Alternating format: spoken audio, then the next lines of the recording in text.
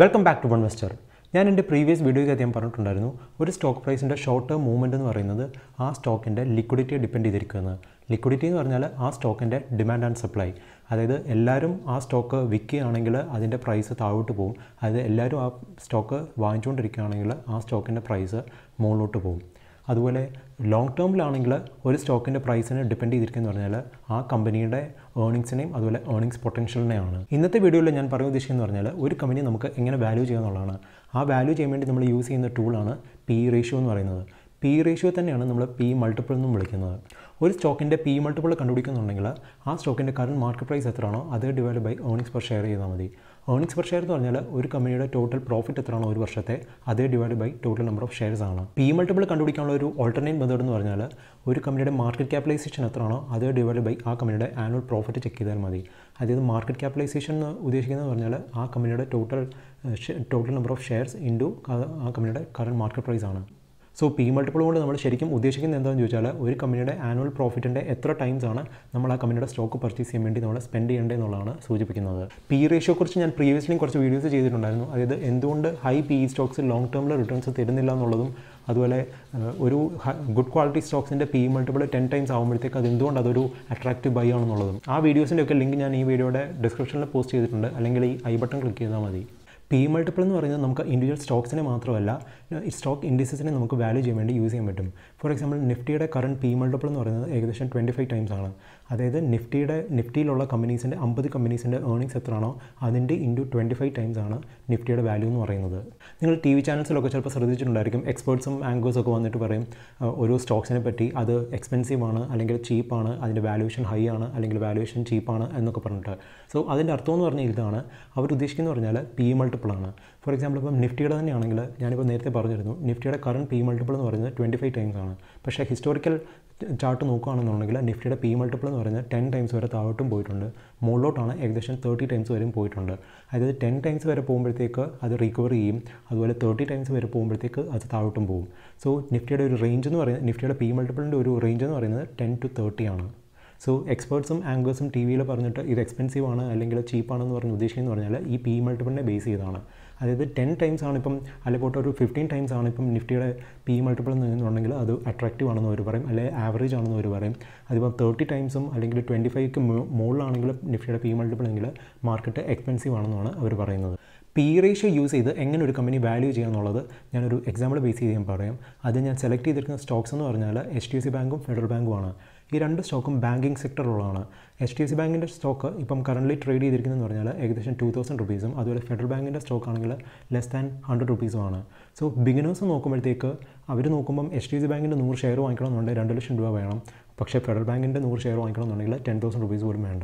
So naturally federal ബാങ്കിന്റെ stock വാങ്ങിക്കാനായിരിക്കും അവർക്ക് താല്പര്യം. പക്ഷേ ആ ഒരു അപ്രോച്ച് ശരിയല്ല എന്നുള്ളത് നിങ്ങൾക്ക് ഇപ്പം സ്ക്രീനിൽ നോക്കുമ്പോൾ മനസ്സിലാകും. ഞാനിപ്പം യൂസ് ചെയ്തിരിക്കുന്ന നമ്പേഴ്സ് എന്ന് പറഞ്ഞാൽ ആക്ച്വൽ നമ്പേഴ്സ് അല്ല. കാൽക്കുലേറ്റ് ചെയ്യാൻ ഈസി ആയിട്ടുള്ള കുറച്ച് നമ്പേഴ്സാണ് ഞാൻ സെലക്ട് ചെയ്തിരിക്കുന്നത്. എച്ച് ഡി എഫ് സി ബാങ്കിന്റെ കറണ്ട് മാർക്കറ്റ് പ്രൈസ് പറയുന്നത് ടു തൗസൻഡ് റുപ്പീസ് ആണെന്ന് വെച്ചോ. അവരുടെ ഈ വർഷത്തെ ഏർണിങ്സ് പെർ ഷെയർ എന്ന് പറയുന്നത് ഹൺഡ്രഡ് റുപ്പീസ് ആണെന്ന് വെച്ചോ. അവരുടെ ലാസ്റ്റ് അഞ്ച് വർഷത്തെ ഒരു ആവറേജ് പ്രോഫിറ്റ് ഗ്രോത്ത് എന്ന് പറയുന്നത് തേർട്ടി പെർസെന്റേജ് ആണെന്ന് വെച്ചോ. സോ ഇപ്പോഴത്തെ മാർക്കറ്റ് പ്രൈസ് അനുസരിച്ച് അവരുടെ പി മൾട്ടിപ്പിൾ എന്ന് പറഞ്ഞാൽ ഞാൻ പറഞ്ഞിരുന്നു സ്റ്റോക്ക് പ്രൈസ് എന്ന് പറഞ്ഞാൽ ടു തൗസൻഡ് റുപ്പീസ് ആണ്.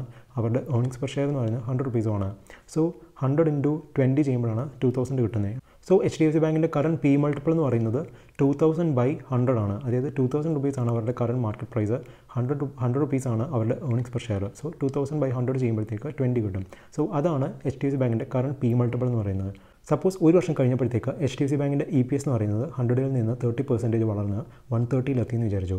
അപ്പം അപ്പോഴും market price two thousand rupees ആണെങ്കിൽ അവരുടെ പി മൾട്ടിപ്പിൾ എന്ന് പറയുന്നത് അപ്പം two thousand by one thirty വരും. അതായത് ഫിഫ്റ്റീൻ പോയിന്റ് ത്രീ എയ്റ്റ് അതുപോലെ രണ്ട് വർഷം കഴിഞ്ഞപ്പോഴത്തേക്ക് അവരുടെ ഇ പി എസ് എന്ന് പറഞ്ഞത് പിന്നെയും തേർട്ടി പെർസെന്റേജ് വളർന്നെന്ന് വിചാരിച്ചു. അതായത് വൺ തേർട്ടിയിൽ നിന്ന് പിന്നെയും തേർട്ടി പെർസെന്റേജ് വളർന്നിട്ട് വൺ സിക്സ്റ്റി നയൻ എത്തിയെന്ന് വിചാരിച്ചു. അപ്പം പി മൾട്ടിപ്പിൾ എന്ന് പറയുന്നത് അപ്പോൾ market price two thousand rupees ആണെന്നുണ്ടെങ്കിൽ two thousand by one sixty nine വരും. അതായത് ലെവൻ പോയിന്റ് എയ്റ്റ് ത്രീ വരും. ഇനി നമുക്ക് ഫെഡറൽ ബാങ്കിന്റെ ഡേറ്റ നോക്കാം. ഫെഡറൽ ബാങ്കിന്റെ കറണ്ട് മാർക്കറ്റ് പ്രൈസ് എന്ന് പറയുന്നത് നയന്റി റുപ്പീസ് ആണെന്ന് വിചാരിച്ചു. അവരുടെ ഈ വർഷത്തെ ഏർണിങ്സ് പെർ ഷെയർ എന്ന് പറയുന്നത് സിക്സ് റുപ്പീസ് ആണെന്ന് വിചാരിച്ചു.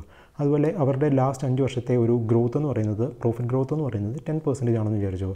സോ ഫെഡറൽ ബാങ്കിന്റെ കറണ്ട് പി മൾട്ടിപ്പിൾ എന്ന് പറയുന്നത് നയന്റി റുപ്പീസ് ആണ് കറണ്ട് മാർക്കറ്റ് പ്രൈസ് സോ അത് ബൈ സിക്സ് റുപ്പീസ് ആണ് ഏർണിങ്സ് പെർ ഷെയർ എന്ന് പറയുന്നത്. സോ നയന്റി ബൈ സിക്സ് വരും. അതായത് ഫിഫ്റ്റീൻ ആയിരിക്കും അവരുടെ കറണ്ട് പി മൾട്ടിപ്പിൾ എന്ന് പറയുന്നത്. സപ്പോസ് ഒരു വർഷം കഴിഞ്ഞപ്പോഴത്തേക്ക് അവരുടെ ഇ പി എസ് എന്ന് പറയുന്നത് ടെൻ പെർസെന്റേജ് വളർന്നു എന്ന് വിചാരിച്ചു. അതായത് സിക്സ് റുപ്പീസിൽ നിന്ന് സിക്സ് പോയിന്റ് സിക്സ് റുപ്പീസ് എടുത്തിയെന്ന് വിചാരിച്ചു. സോ അപ്പോഴും മാർക്കറ്റ് പ്രൈസ് നയന്റി റുപ്പീസ് ആണെന്നുണ്ടെങ്കിൽ അവരുടെ പി മൾട്ടിപ്പിൾ എന്ന് പറയുന്നത് ninety by six point six വരും. അതായത് തേർട്ടീൻ പോയിന്റ് സിക്സ് ത്രീ വരും. അതുപോലെ രണ്ട് വർഷം കഴിഞ്ഞപ്പോഴത്തേക്ക് അവരുടെ ഇ പി എസ് എന്ന് പറയുന്നത് സിക്സ് പോയിന്റ് സിക്സിൽ നിന്ന് പിന്നെയും ടെൻ പെർസെന്റേജ് വളർന്നു എന്ന് വിചാരിച്ചു. അപ്പം ഇ പി എസ് എന്ന് പറയുന്നത് സെവൻ പോയിന്റ് ടു സിക്സ് വരും. സോ രണ്ട് വർഷം കഴിയുമ്പോഴത്തേക്ക് അവരുടെ പി മൾട്ടിപ്പിൾ എന്ന് പറയുന്നത് അപ്പോഴും മാർക്കറ്റ് പ്രൈസ് നയന്റി റുപ്പീസ് ആണെങ്കിൽ ninety by seven point two six വരും. അതായത് ട്വൽവ് പോയിന്റ് ത്രീ നയൻ വരും. സോ രണ്ട് വർഷം കഴിയുമ്പോഴത്തേക്ക് ഈ രണ്ട് സ്റ്റോക്കിന്റെ പി മൾട്ടിപ്പിൾ കമ്പയർ ചെയ്യുമ്പോൾ നമുക്ക് കാണാൻ പറ്റും. എച്ച് ഡി എഫ് സി ബാങ്കിന്റെ പി മൾട്ടിപ്പിൾ എന്ന് പറയുന്നത് ട്വന്റി ആയിരുന്നു. അത് രണ്ട് വർഷം കഴിഞ്ഞപ്പോഴത്തേക്ക് അത് ലെവൻ പോയിന്റ് എയ്റ്റ് ത്രീ ആയി. അതുപോലെ ഫെഡറൽ ബാങ്കിന്റെ പി മൾട്ടിപ്പിൾ എന്ന് പറയുന്നത് ഫിഫ്റ്റീൻ ആയിരുന്നു. അത് രണ്ട് വർഷം കഴിഞ്ഞപ്പോഴത്തേക്ക് ട്വൽവ് പോയിന്റ് ത്രീ നയനും ആയി. അപ്പം നിങ്ങൾക്ക് കമ്പയർ ചെയ്യുമ്പോൾ കാണാൻ പറ്റും.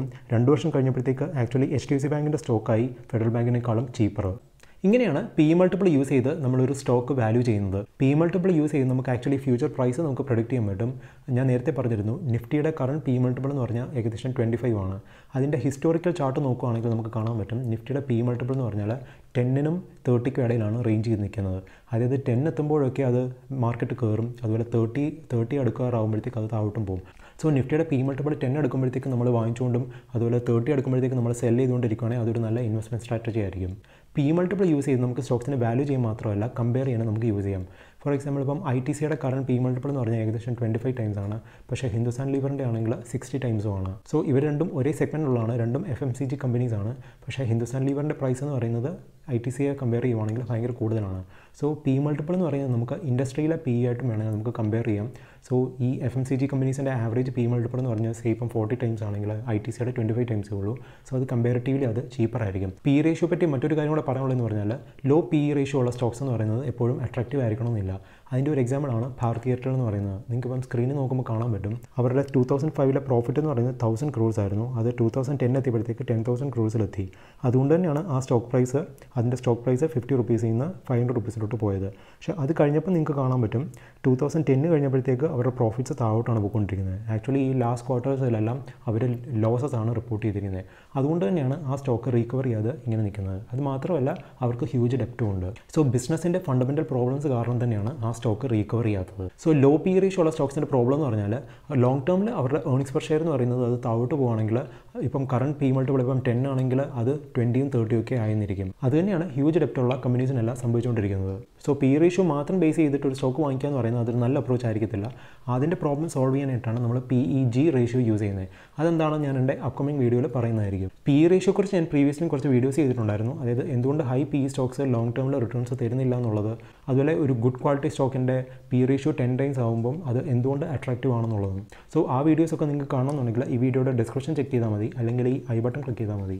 ഈ വീഡിയോ ഇൻഫോർമേറ്റീവ് ആയിട്ട് നിങ്ങൾക്ക് തോന്നിയിട്ടുണ്ടെങ്കിൽ എന്റെ ചാനൽ സബ്സ്ക്രൈബ് ചെയ്യുക. So good bye until next video